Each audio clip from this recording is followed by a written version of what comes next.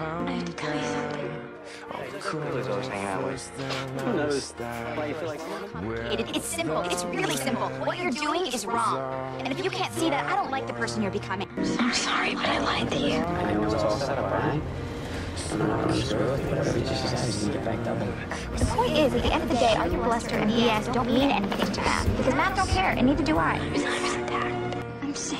Because I saw you kissing her, which is a really jackass move considering you have a girlfriend. Meaning what, that I should keep cheating and stick it to him? I'm not the guy. I wish you would have told me. I wanted to, but I didn't know how. What? Because I can, okay? That's how it works. People are mean. Life's a bitch.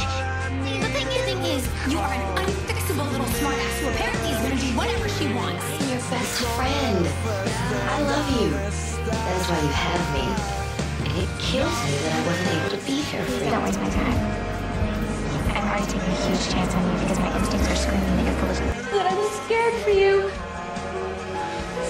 I cannot believe that this is happening. Okay, you're shaking. My heart's racing too. Whatever you decide to do, I'll be there. Always. I promise you. I won't let you down. Right, I think it's time you get your insecure, cheating, skank ass out of this house right now. You lied to me to punish me? How could you cheat on me with my best friend? I'm just, just maybe, maybe.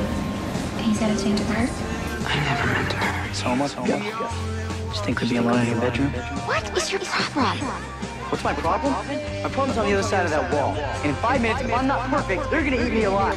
Because in the end, it all hurts just the same. I'm not going anywhere. Lost you.